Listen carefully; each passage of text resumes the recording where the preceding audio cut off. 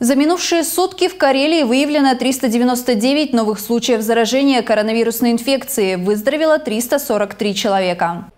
Подтверждены еще два летальных исхода. В инфекционном отделении Сигежской ЦРБ скончался 59-летний житель Сигежи. В ковид-стационаре 33-летний петрозаводчанин. Сейчас из-за ковид-19 на дистанционном обучении находится 40% школьников республики, а государство оказывает посильную социальную поддержку. Так, власти Карелии передали 500 компьютеров малоимущим семьям с детьми для обучения на дому. В Сартовальской районной больнице установлен новый уже второй по счету томограф.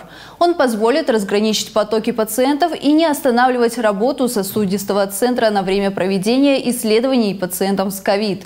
Также стало известно, что в середине января в Карельском филиале Российской Академии Народного Хозяйства и Государственной Службы пройдет очередной Гайдаровский форум «Россия и мир после пандемии». Мероприятия в этот раз будут сосредоточены на темах, актуальных для России и для всего мира на фоне пандемии и ее последствий.